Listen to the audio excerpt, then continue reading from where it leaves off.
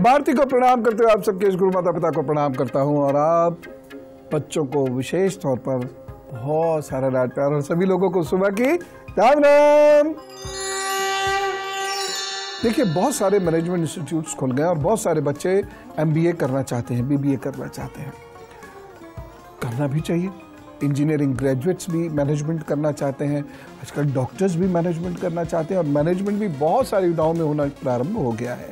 बहुत सारी स्ट्रीम्स उसमें नई नई डेवलप हो रही हैं। लेकिन सभी लोगों को बहुत अच्छा इंस्टीट्यूट नहीं मिलता। मैं आईएम वगैरह की बात ही नहीं कर रहा, अच्छे इंस्टीट्यूट्स की बात कर रहा हूँ। बहुत सारे लोगों को अच्छे इंस्टीट्यूट्स नहीं मिलता। बहुत सारे लोगों को अनेक बार अटेम्प्ट करने के बाद भी अच्छे इंस्टीट्यूट्स नहीं मिलते। क्यों? यही मैं आज आपको बताने वाला हूँ। आपके हाथ पर ऐसी कुछ रेखाएँ भी होती हैं कि आप मैनेजमेंट करके सक्सेसफुल होंगे कि नहीं? क्योंकि बहुत सारे बच्चे इंजीनियरिंग छोड़कर मतलब इंजीनियरिंग में मास्टर्स छोड़कर एमबीए कर लेते हैं। लेकिन उनकी किस्मत में ये है कि अगर वह इंजीनियरिंग की ही फ़ील्ड में काम करते रहें तो ज़्यादा सक्सेसफुल होंगे मैनेजमेंट मैनेजमेंट के। तो मैं बताऊँ? सबसे पहले इम्पोर्टेंट क्या है? ठीक, ये जानिए। देखिए, आपको एक अच्छे विद्यालय से मैनेजमेंट की डिग्री के लिए ये दो रेखाएँ होना बहुत ज़रूरी है। और ये दो रेखाएँ बिल्कुल इस, यहाँ तक एकदम स्पष्ट हों और साथ ही साथ यहाँ पर ये कुछ इस प्रकार से रेखाएँ हों। ये वाली रेखाएँ कटी हुई नहीं होनी चाहिए, ये रेखा एकदम स्पष्ट होनी चाहिए। यदि ये दो रेखाएँ इस प्रकार से हैं, और साथ ही साथ, भाई देखिए, किस्मत तो हर जगह काम आती ही है। अगर ये आपकी लक लाइन एकदम ठीक है तो ये तय है कि आपका मैनेजमेंट होगा, अच्छी जगह से होगा। लेकिन अब समस्या क्या है दूसरी? आप मैनेजमेंट तो कर लेंगे, वो तो एक एकेडमिक एक्टिविटी है वह तो कर ली। अब एज मैनेजर आप सक्सेसफुल होंगे या एक टेक्नोक्रेट के रूप में आप सक्सेसफुल होंगे, ये जानना बहुत ज़रूरी है, क्योंकि यदि कुछ रेखाएँ आपके हाथ में हैं तो आपके लिए मैनेजमेंट बहुत सूटेबल है, और कुछ रेखाएँ आपके हाथ में नहीं है तो मैनेजमेंट सूटेबल नहीं रहेगा।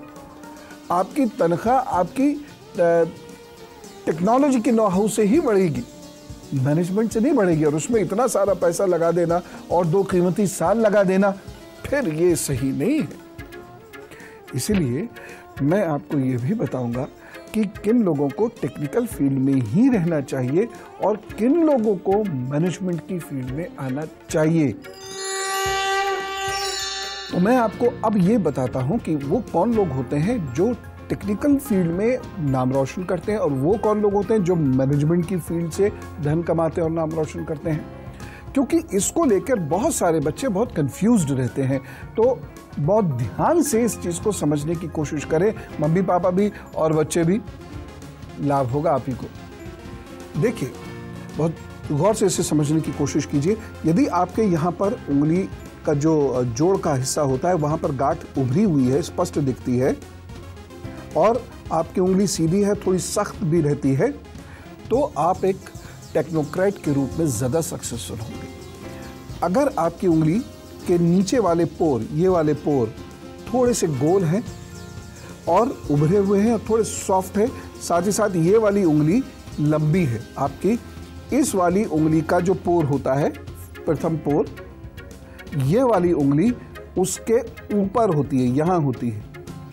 तो आप एक मैनेजर के रूप में ज़्यादा सक्सेसफुल होंगे। यदि ये उंगली आपकी लंबी है तो आप मैनेजमेंट में इतने प्रवीण होंगे कि आप जीवन में सीईओ e जैसी पोजीशंस वाइस प्रेसिडेंट जैसी पोजीशन या ऑपरेशन हेड जैसी पोजीशन या प्रोजेक्ट मैनेजर जैसी पोजीशंस पाएँगे। प्रोजेक्ट मैनेजर कर बहुत जल्द बन जाएँगे। लेकिन मैं पुनः कहता हूँ, ये उंगली यहाँ के लगभग होनी चाहिए। और ये वाले हिस्से थोड़े से गोल होने चाहिए, तब ये हासिल होगा। मान लीजिए ये गांठेदार उंगलियाँ हैं आपकी और ये हिस्सा पतला है, मुलायम भी नहीं है, ये सख्त है तो आप एज मैनेजर बहुत सक्सेसफुल नहीं हो पाएँगे। सारे जीवन आपको झगड़ा झंझट झेलना पड़ेगा। तो अब ये इंपॉर्टेंट हो गया। भाई मैनेजमेंट करना है, नहीं करना क्लियर और ये क्लियर है। अगर आप समझ गए हैं तो बिल्कुल बिंदास होकर डिसीज़न लीजिए और अपनी लाइन को चूज़ कीजिए। आजकल बहुत अच्छे स्कोप्स हर लाइन में हैं। इसलिए कुछ भी लकीर के फकीर होने की कोशिश मत कीजिए, अपने पे कॉन्फिडेंस रख के और चलिए, आगे बढ़िए। आप डेफिनेटली सफल होंगे। यदि आप अपनी लाइन के मास्टर हैं तो और बहुत मेहनती हैं तो। लेकिन फिर एमबीए की बात है कि भाई हम एम क्या किसमें करें? एचआर में करें फाइनेंस में करें सेल्स एंड मार्केटिंग में करें। और अब तो एम मैनेजमेंट की और नई नई विधाएँ भी आ रही हैं। देखिए बिल्कुल साफ़ साफ़ बात है मैं आपको बता देता हूँ।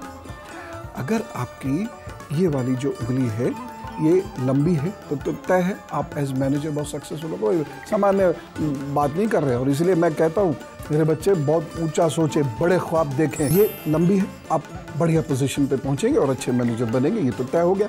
अब दूसरी महत्वपूर्ण बात क्या है कि यदि यहाँ पर आपके बहुत सारी रेखाएँ हैं और ये वाला हिस्सा आपका उठा हुआ है है ना? ये वाला हिस्सा, ये उठा हुआ है और यहाँ पर एक लाइन सीधी इससे जाकर मिल जाती है। तो साहब, आप फाइनेंस की फ़ील्ड के मास्टर हैं।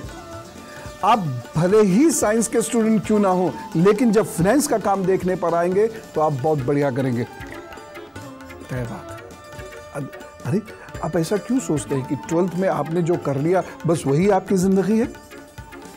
मैं आपको एक दो नहीं, लाखों ऐसे सक्सेसफुल लोग दिखाऊँगा, जिनकी फॉर्मल एजुकेशन कुछ थी, लेकिन काम कुछ और किया और उसमें सक्सेस होकर दिखाया उन्होंने। ये तो दिमाग और व्यक्तित्व के खेल है ना? अब दूसरी चीज़। बहुत ध्यान से सुनिए। अगर आपकी यहाँ पर ये लाइन्स है, इस तरीके से ये ये लाइन स्पष्ट है, यहाँ पर मैं पुनः आपको दिखा रहा हूँ। यहाँ पर ये लाइन स्पष्ट है और यहाँ पर ये लाइन स्पष्ट है। ये, अगर ये दो लाइन आपके हाथ में है तो एचआर आपकी फ़ील्ड है। और खूब सक्सेस होगी आपको एचआर में। तीसरी चीज़, एक मदद और करता हूँ अच्छा। अगर आपकी ये लाइन ऐसे मिल रही है, दिखा दो, दिखा ये, इस तरीके से, ये लाइन ये यहाँ भी जा रही है और ऐसे भाग्य रेखा में मिल रही है। तो आप मार्केटिंग में सामान्य नहीं, बड़े पद पर पहुँचेंगे और जाने जाएँगे और देश विदेश में घूमेंगे और जम के घूमेंगे। तो क्यों कंफ्यूजन हमारी लाइंस हमको एकदम क्लियर कर रही हैं कि हमें कहाँ जाना और कैसे जाना है।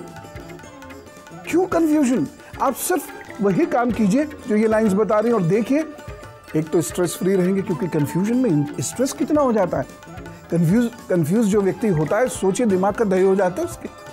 तो आप एक तो कंफ्यूज नहीं है, रास्ता एकदम स्पष्ट है, खुला दौड़े चले जाइए अपनी जगह पर और हाँ बिंदास डिसीज़न लो इन लाइन को देखकर। लो आप डिसीज़न मैं कह रहा हूँ लो। सब अच्छा होगा। और अब गुरु मंत्र। भाई देखिए लाइन आपके हाथ में स्पष्ट है तो ये तय है कि आप बने, आज बने, कल बने सीईओ बने। लेकिन ये तो करोड़ों में से एक आध के इतनी स्पष्ट लाइनें होंगी, बाकी लोगों को तो अपने रास्ते खोद कर पाट कर बनाने होंगे। और उसमें आपकी मेहनत, समय पे किया गया कार्य, अनुशासन जीवन में बहुत महत्वपूर्ण है। जो बुज़ुर्ग लोग एकदम अनुशासित तो रखते थे ना, वो तो बुरा नहीं था, वो अच्छा था, हमारे भले के लिए था। हमने लिबर्टी के नाम पर अनुशासन को जो ताक पे रखा तो उससे हमारा दिमाग भी कमज़ोर हो रहा और समय पर काम ना कर पाने की वजह से हम फ्रस्ट्रेशन में भी जा रहे हैं। तो अनुशासन आप रखिएगा, काम जम के कीजिएगा, मेहनत कमत जी तोड़ जी तोड़ मेहनत कीजिएगा। एक मुहावरा है, कमर तोड़ मेहनत, नहीं, जी तोड़ मेहनत कीजिएगा और ये उपाय कर लीजिएगा। मैनेजमेंट में सफलता प्राप्त करने के लिए मिट्टी का खाली बर्तन बुधवार के दिन किसी भी बहते हुए पानी में आप प्रवाहित कर दें। ज़रूरी नहीं कि ये बड़ा ही बर्तन हो, ये छोटा भी हो सकता है। यदि वहाँ पर नदी नहीं है, नहर नहीं है, कोई बड़ा नाला भी नहीं है छोटी सी नाली है तो उसमें ही प्रवाहित कर दीजिए छोटा सा लेकिन ये खाली होगा। दूसरा उपाय आपको क्या करना है? बृहस्पतिवार के दिन लाल मसूर की दाल का दान ज़रूर कर दिया कीजिए और ये दाल इतनी अवश्य हो किसी गरीब के घर में एक वक्त का खाना पक जाए। ठीक, ये दो उपाय कर लीजिए। यदि आपको मैथमेटिक्स में बहुत ज़्यादा दिक्कत आ रही है या आपको रीजनिंग में बहुत ज़्यादा प्रॉब्लम आ रही है तो तांबे के तीन सिक्के हरे रंग के धागे में गले में धारण कर लीजिए। ये बुधवार को धारण करें तो अच्छा रहेगा। करिए और मेहनत पर जुट जाइए तो वो सब ठीक करेंगे। यदि आपकी रिटेंशन पावर कमज़ोर है यानी आप समझ नहीं पाते हैं चीज़ों को या याद नहीं रख पाते हैं क्योंकि आपको 30 सेकंड्स के अंदर क्वेश्चन ना केवल सॉल्व करना है बल्कि करेक्टली सॉल्व करना है। तो यदि आप ये नहीं कर पाते हैं तो गंग या ए, ए, इस मंत्र का जब थोड़ी देर कर लिया कीजिए। और देखिए आपके ब्रेन की हालत मेमोरी की हालत बेहतर होती चली जाएगी ज़रूर सक्सेसफुल होंगे। हो सकता है प्रभु ने लाइन छूटी दी हो, लेकिन आप मेहनत करके और प्रभु की उपासना करके उस लाइन को बड़ा और गाढ़ा कर सकते हैं। प्रभु ने आपको ये छूट दी हुई है। तो इस छूट का लाभ उठाइए। चलो राम राम नमस्कार।